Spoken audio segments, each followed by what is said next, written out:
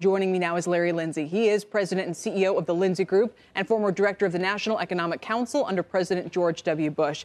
Larry, it's great to see you again. And, and you actually like the idea that the U.S. would clamp down on investment flows into China, right? Why? Well, let's be specific here. Um, it's not China specifically, although they're the most egregious uh, uh, case. What I think is that the standards that are applied for listing an American company on the New York Stock Exchange or some other exchange should be applied to everyone who lists on the NYSE. Right now, there's a lot of Chinese companies who don't comply with financial transparency rules. Yeah. And it doesn't seem fair to me that they should you know, not follow the same rules as everybody else. This is also about vulnerability, though. And I am curious who you perceive as being more vulnerable in this trade war right now. Let me read you a tweet from Hu Xijin. I'm sure you're familiar with him, the Global Times editor, who often serves as kind of a, a mouthpiece of the Chinese government. He says, Larry, the U.S. Right. economy is not as promising as the White House brags. With no huge untapped potential, no major science and tech innovation in recent years, its exuberance is built on a fragile balance of a financial game, but it still launched a trade war. More terrible consequences will come. I mean, is this how the Chinese perceive us to be in the weakened position right now? Well, of course, they're in a weakened position too, Kelly. So I think I would view this as more of uh, the propaganda war than anything else. Hmm. um, with regard to money going into China, though, you know, why should uh, U.S. mutual fund dollars or pension fund dollars go into companies in Chinese markets, Shanghai or what have you, even Hong Kong, that do not comply with the same financial transparency rules that apply to American companies. This is a matter of, in my mind, consumer protection. And by the way, I would say the same thing is true of Russian companies and Iranian companies mm-hmm. and, and French companies, although they're generally in compliance.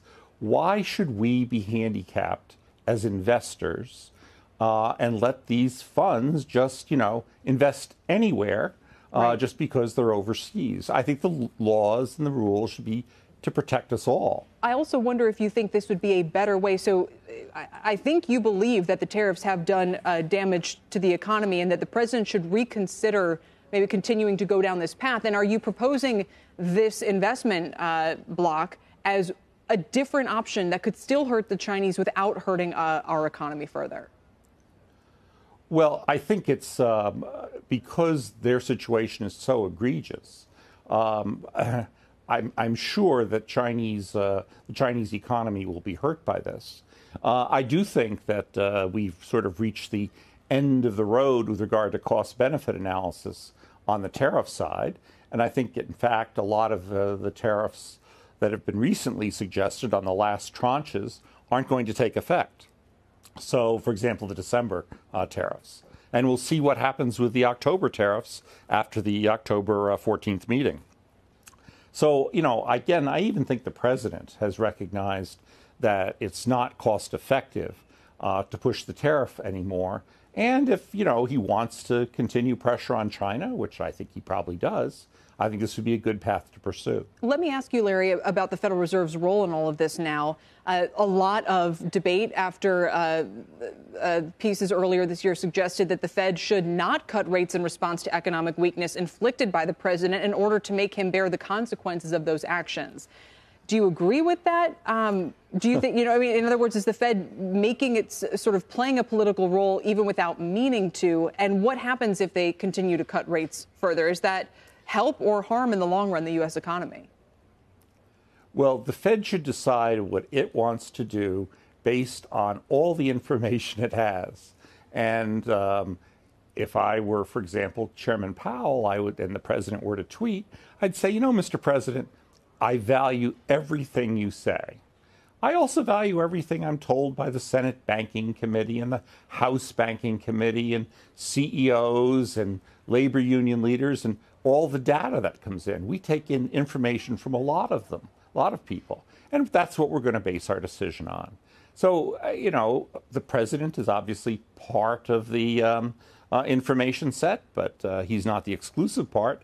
And I think Chairman Powell might uh, make that clear. Right, but I wonder what you think is happening with the economy, Larry, after the data this week. You know, is it weakening substantially? Does it warrant rate cuts? Well, I'm a am um, a believer that uh, you know the actual hard data is more important than the sentiment data. Mm-hmm. Uh, as I be- remember, the uh, market manufacturing index uh, came out the same day as ISM, and Markit had manufacturing up half a percent. Mm-hmm. And today we got advanced durables, and advanced durables rose. I'm looking tomorrow very carefully at what's happening to things as far as employment goes in the manufacturing sector. You know, we, it's going to be a negative number because of the GM strike, I believe. But we'll see, um, you know, if adjusting for the GM strike, it's still a pretty good number. It suggests that the sentiment may be awful, but um, firms aren't acting that way. And I believe in watching what I do, not what I say. So, more rate cuts or no if you're the Fed? They've already done it twice this year. Well, as of the data right now, um, I do not think another rate cut uh, is needed at this time. I think it's important for them to monitor the situation carefully, but we do have um, reasonably solid uh, inflation. We are moving gradually up to the 2%. If you look at the, uh, the second quarter's uh, productivity numbers, uh, the labor inflation part of that is already at 2%. We also got 2.6% productivity, mm-hmm. and costs went up 4.6 for labor. But, you know, we're close to that 2% target. Um, we have a very, very low unemployment rate, um, and I think we will tomorrow as well. I don't see extremes in either direction yeah. that should cause the Fed to change its policy. Okay. Larry, it's great to see you again. Thanks so much for your time. That, thanks, Kelly. It's great to be back. Larry Lindsey joining me today.